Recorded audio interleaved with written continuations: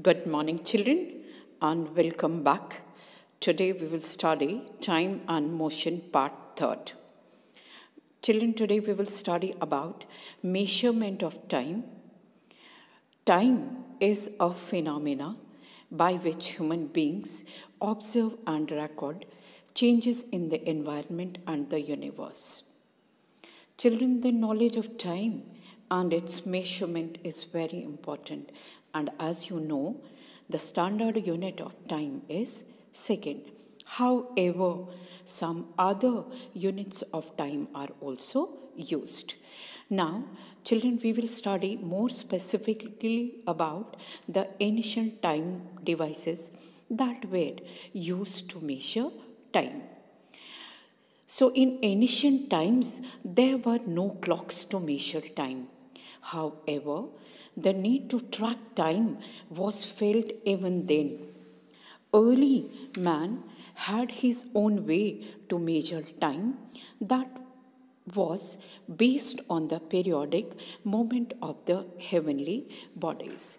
Now, children, in this slide, you can see some of the measuring devices which are used in which were used rather in ancient times.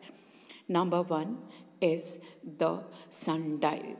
Children, sundial was designed based on the principle of shadow formation due to sunlight, which varies with position of the sun in the sky.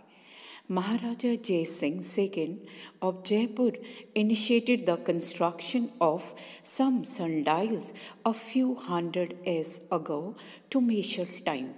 And one of them is in Jaipur and other is in Delhi at Jantar Mantar. Second is sand clock. Children, sand clock is also known as hour glass. The, this clock is made up of two rounded glass bulbs placed one above the other that are connected by an arrow glass tube. The upper bulb contains sand that flows to the lower bulb with a fixed interval of time. When the entire sand gets filled in the lower bulb, the clock is inverted and the sand flows again. The third measuring device is water clock.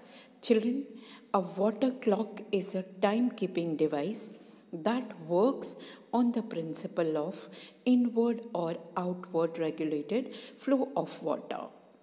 In the inward regulated flow method, a bowl marked with lines is filled with water. The flow of water is regulated. The lines are marked to track the flow of water that indicate the time. So, children, this was how people in olden days or ancient times used to measure time. Thank you, children, and have a